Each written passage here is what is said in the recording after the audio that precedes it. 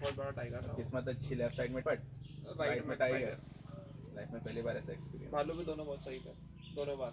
भालू भी बहुत बड़ा था। बड़ा भालू मैंने नहीं देखा इसको लोग सक्सेसफुल हो गई। सारे जानवर देखते हैं यहाँ के। आठ से दस नेशनल पार्क जा चुका हूँ लेकिन पहली बार